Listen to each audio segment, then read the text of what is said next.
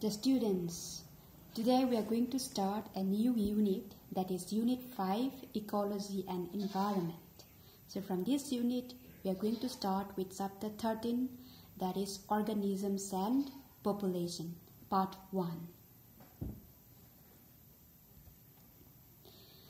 Nature consists of two complex, interdependent, mutually reactive, and interrelated entities.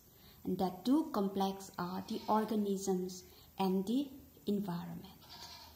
The organisms can survive only in appropriate environments, interact with one another, and are influenced by the whole complex of environmental factors.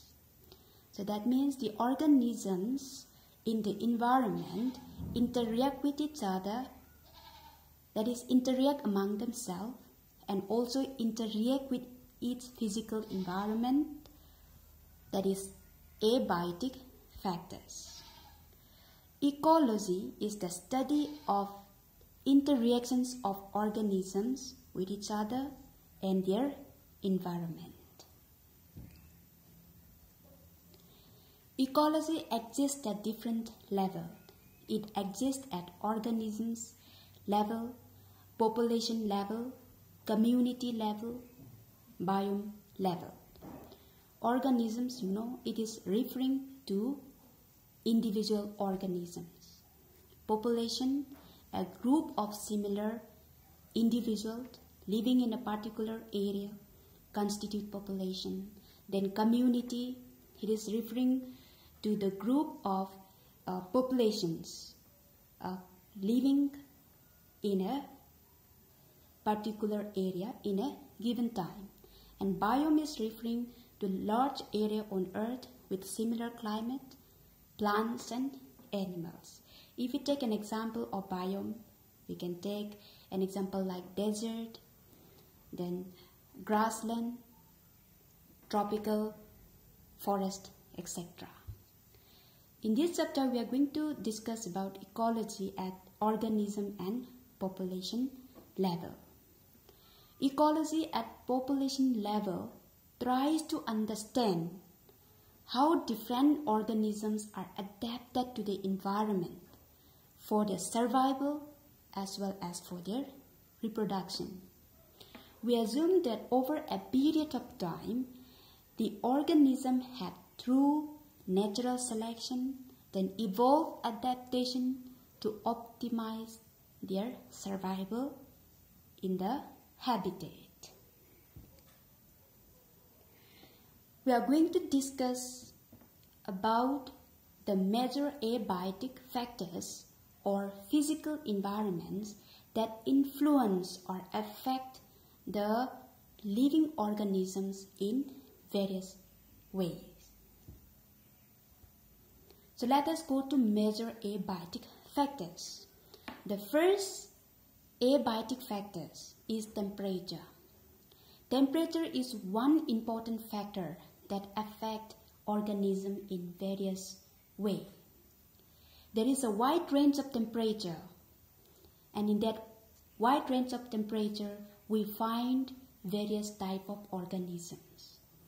It ranges from sub-zero levels in polar areas and high altitude to more than 50 degrees Celsius in tropical desert in summer. And in all these places, we find different types of organisms with special adaptation. In this wide range of temperature, most of the organisms preferred a range of temperature where the enzymes work well within their body. There are also unique habitats such as thermal spring and thermal vent where temperature exceeds 100 degrees Celsius and still some organisms exist. Those organisms that exist in this thermal spring and thermal vent has got a special protein that will help them to carry out the metabolic activity within their body for their survival. In case of an organisms living in uh, polar areas where the temperature comes down to minus, the organism has a special protein called antifreeze.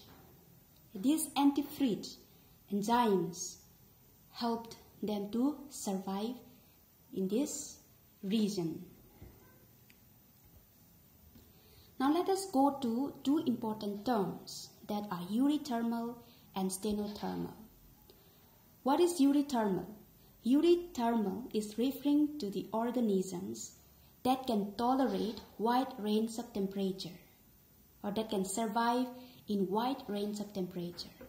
Examples are human, dog, cat, cow, etc. Another one is stenothermal.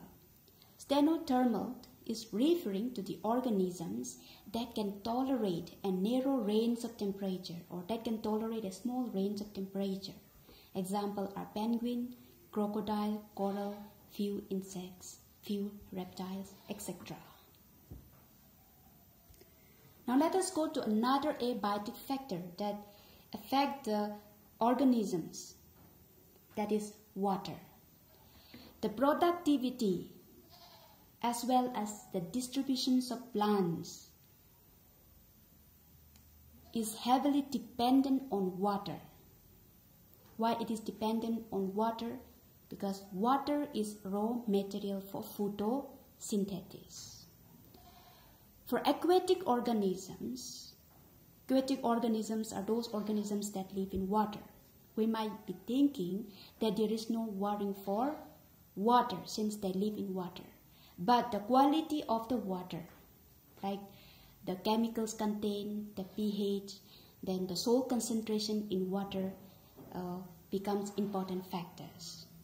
The salt concentration is less than 5% in inland water 30 to 35% in the sea and more than 100% in some hypersaline lagoons. Euryhalines are those organisms that can tolerate wide range of salt concentration in water. Examples are salmon and eels.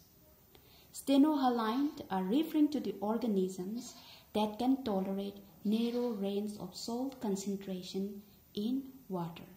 Example are goldfish and haddock fish. So that's all for today. Thanks for watching.